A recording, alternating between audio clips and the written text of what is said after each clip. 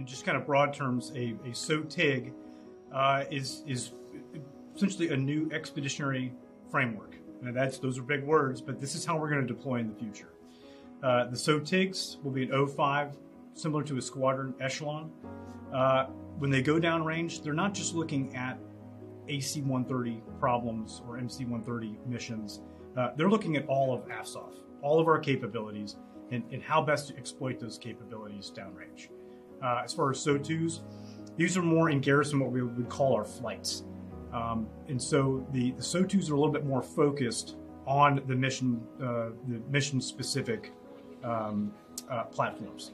So we have ST SOTUs, uh, we have MC130J SOTUs, U28 SOTUs. They they are focused on mission generation, uh, and again they fall under these SOTGs that will help maximize their um, uh, how to exploit their capabilities uh, in a joint environment. The training had been um, intermittent and sparse for our JSOACs, and they got formed uh, at different points. Some got formed six months out, some got formed a couple months out. It just it was variable depending on the theater and who was going. Um, so that limited training opportunities and connectivity between the staff. Um, and a lot of people, when we started out, they said, "Oh, it's just another name for a JSOAC." Um, I understand why people would think that, but it's so much different um, as far as what the staff is composed of, how they're trained, uh, the time they get together, the reps and sets, the TTXs and CERTEXs that they go through, how they're interacting with the TSOCs, how they're being instructed on what mission command means, um, and how we're actually preparing to deploy, which is really what we used to do 20 years ago, right?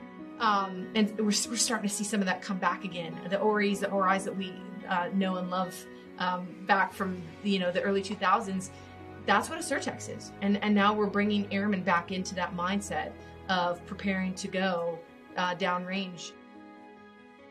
So, based on how the SOTG contract was with the bin cycles, 10 months ago I was notified during our individual unit training, in which we started off at USAFSOS going through our SOTG training courses, uh, and as well as our AOR specific training, um, where we got familiarized with the AOR, what SOTGs were and SOTUs were, how they were going to organize, train, and equip, uh, as well as some of the functions that they were going to do.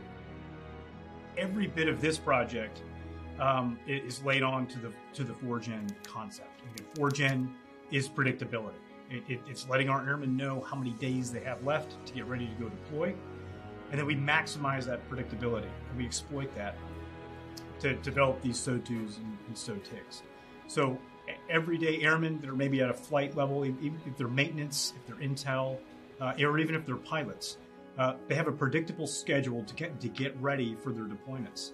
So gone are the days where we're, we're, we're trying to tag airmen at the last minute to go solve a, a, a crisis. Uh, now we're getting into a more predictable pattern where we have anywhere between 10 and 15 months to prepare for that deployment. The pace we're moving at, which um, is, is a lot, but it's necessary to give to the airmen that are going out the door and I'm speaking slowly for a reason, is um, this is what they need, this is what they deserve, and senior leaders are, are putting the momentum and um, the professionalism behind it. That's what that's really what I think separates us out right now. What we've done is expand the aperture to include all of the warfighting functions, to include intel, uh, movement, maneuver, um, fires, uh, information, all of the things that, that, that really we need to be mindful of when when engaging in the new types of conflict and competition. We've become accustomed to going to the same areas, the same buildings, and just rotating through. These SOTGs and SOTUs could, could be put anywhere. And so we've got to be ready to go into austere conditions. And these support teams are going to have the functionality to be more mobile once they become fully formalized and be able to support that SOTG and vice versa, right?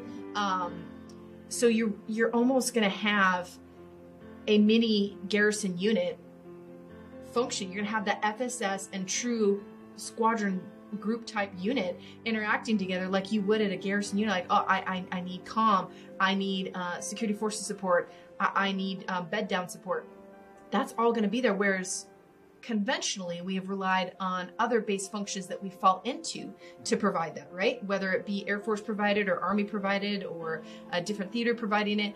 now we're saying we can build that package and work as a team to go anywhere. Um, that that's pretty exciting in my opinion. Again, this new concept, this new framework, really takes a holistic look at what it takes to get aircraft off the ground and get them into the fight.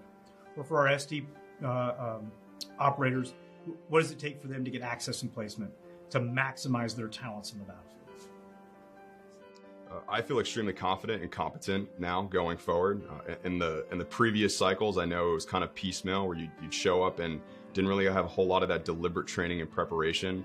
Uh, so I, I feel like we produced a better product as a team, and I feel like we're going to be able to go out and execute the mission uh, to the best standard possible now that we've had this deliberate training moving forward.